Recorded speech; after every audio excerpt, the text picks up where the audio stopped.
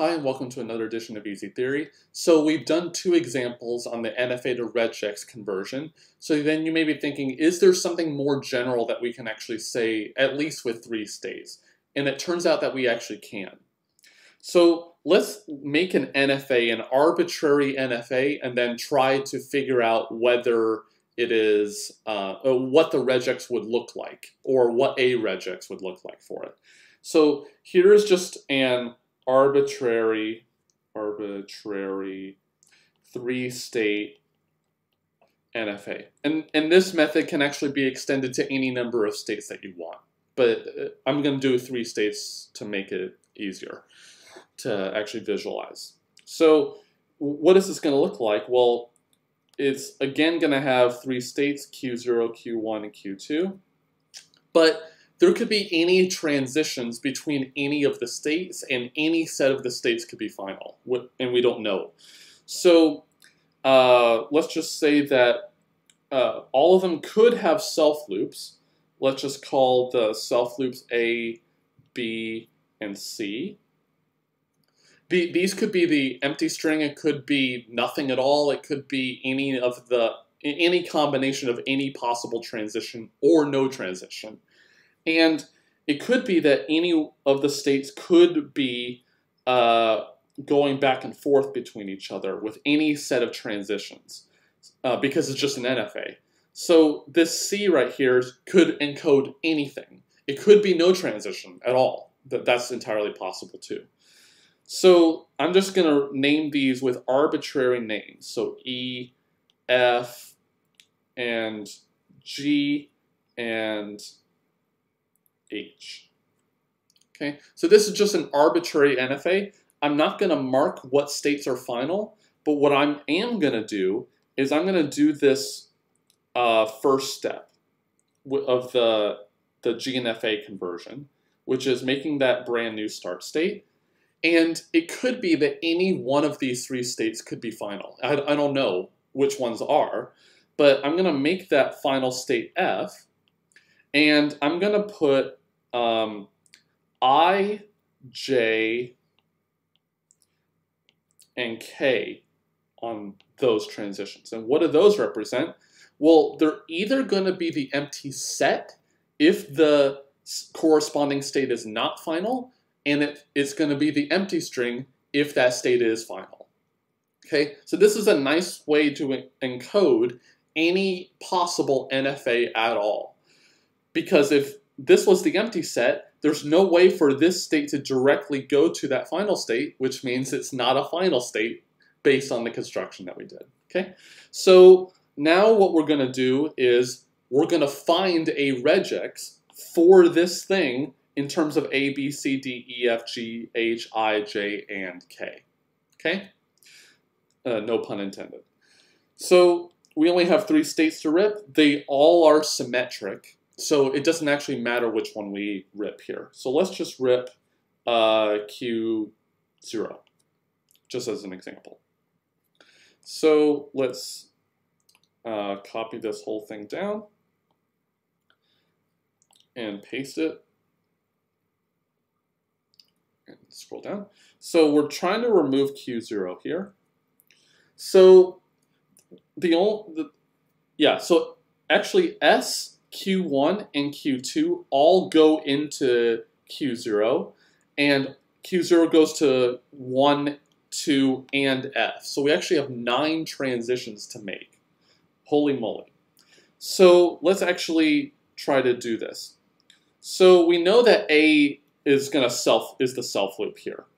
So actually I'm going to remove any transitions that uh, involve Q0 and then add them in just by looking at the picture above.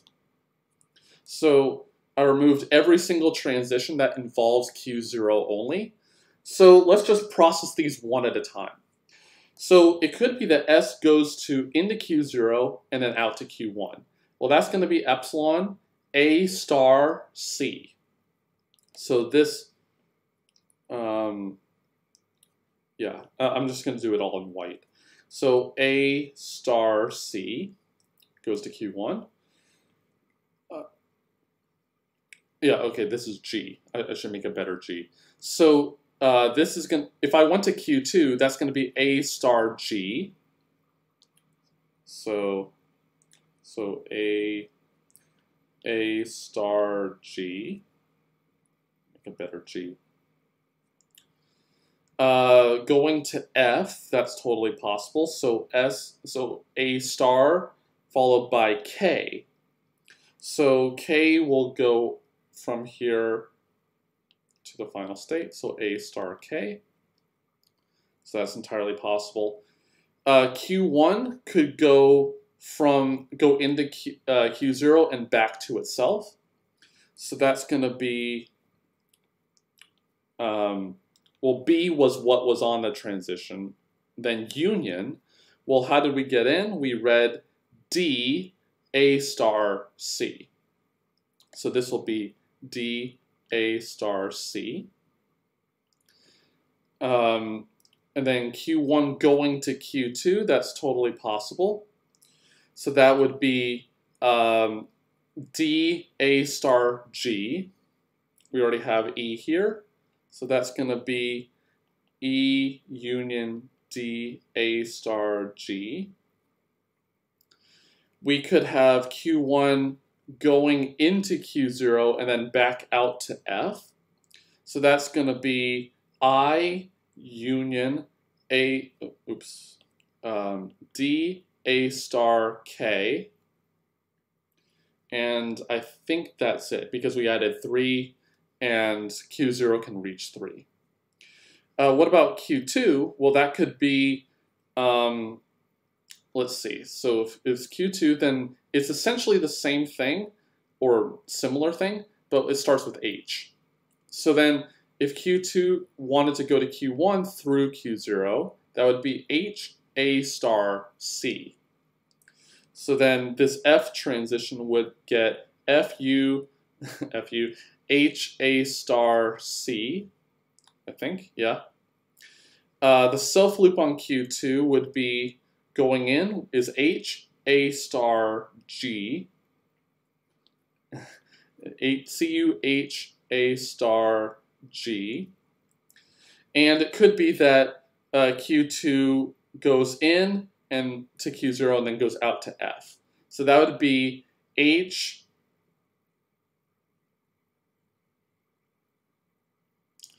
Ooh, I, I should uh, fix this.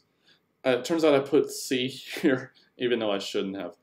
Um, I'm going to change that. I'm going to change this to L. But it's not going to actually change anything uh, because I didn't actually remove Q2 yet. Whew, that, that could have been bad. So I'm going to have L be the self loop on Q2. And I think everything else is fine because there's no redundant, no duplicate transition.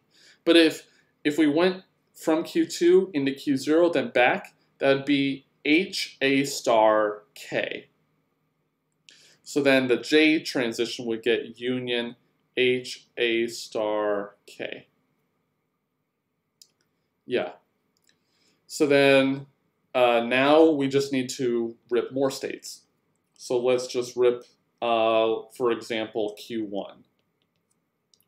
So then um, what am I going to do? So I'm going to actually write this out um, instead of copying it down. So the only states that are left are going to be Q2 and F.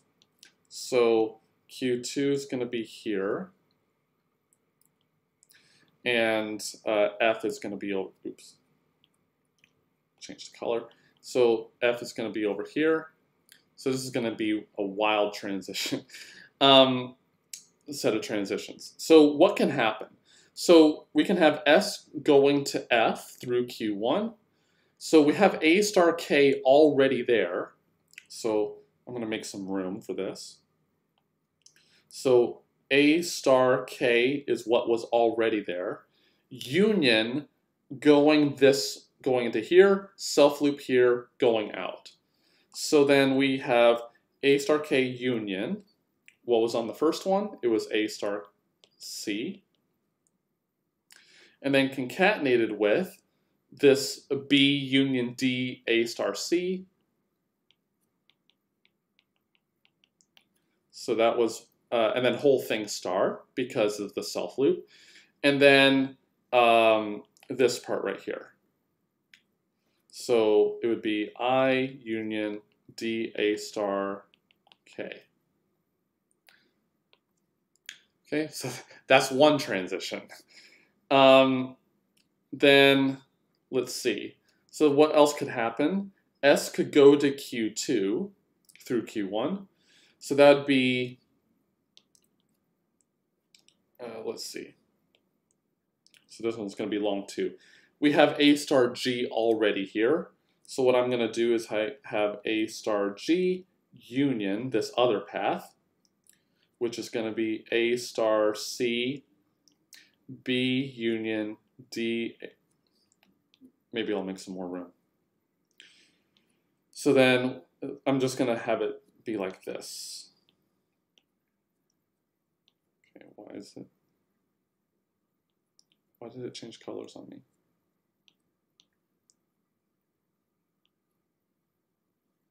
Hmm. I don't know why it changed colors on me. All right, so A star G union, uh, A star C, B union D, A star C, whole thing star, got to remember that. And then go into Q2, which is uh, E union D A star G, because that's what this transition is. Oh boy. Um, the Q2 to uh, F transition is not going to change. So, so this transition is not going to change. So that's J union H A star K. Um, so the only thing left, I think, is to have the self loop. Let's just make sure I have that right. Oh, oh no, no, no, no. Th th this is going to be updated. I forgot because it could be that Q2 goes through Q1 out. Oh boy. So uh, maybe what I should do is I'm going to change the size of the, the pointer so it's, we, we can write smaller. So we have the existing transition here, J union H A star K. So that's already there. Or we can go through the other route, which is this transition, and then this guy, and then uh, this thing star and then this thing. So we have uh, F U A H A star K, uh, C, then uh, B union D A star C whole thing star. Let me scroll down. And then finally we we have uh, I U D A K. So this would be I union D A K A star K. Okay, so that's that transition. Now we get to deal with the inner transition. So that's going to be uh, this guy coming out. Uh, well, what was already there, unioning with this star this concatenated with this. So that's going to be L union H A star G uh, union uh, this whole thing. So that's going to be F union H A star C uh, concatenated with B union D A star C whole thing star and then concatenated with uh, E union D A star G. So simple. um, but yeah, uh, this accurately describes um, any possible NFA that you could ever imagine. You can make uh, a regex for it. So then the final regex will be, uh, I'm not going to attempt to write it down, it's going to be this thing right here, union, this first one, this big boy star, concatenated with this big boy. And Therefore, you will have a regex that works with any three-state NFA that you can possibly think of. So you don't have to write the algorithm. This regex works for any NFA, which is pretty dang cool. Although it's not so pretty, um, maybe I'll try to get it all onto um, one screen so it's not cut off. Yeah. So, uh, yeah, that pretty much gets everything. So you could write this whole thing out if you wanted to, or you can run this really simple algorithm. So the thing to keep in mind here is not to look at, oh, this is so complex, I, I hate it. Uh, therefore, I should never consider it because it's just so complicated. It is complicated, but the thing to keep in mind is that we're able to figure this out without running the entire algorithm or having to make any decisions whatsoever. You can write out the full regex and then just plug it in. It's kind of like a formula for three states. And notice that we didn't have to do this with three states. We could have had more states if we wanted to, and, although the, the regex will be absolutely massive, but you can do this for any NFA of any size this simple idea, you can actually generate a regex that works with any NFA at all. You don't have to worry about a specific NFA anymore, which is pretty cool. So if you have any questions at all, uh, please put them in the comments. I read I read every single one of them. As always, please like and subscribe to the channel. It really helps us out. Um, so I'm not sure if this is really easy theory, um, in this case, because it's just so, it's really complicated regex. But the thing is that the method is really easy once you understand how it works. And that you can actually make it really easy for a computer just by plugging it in at the end. And as always, I'll see you next time.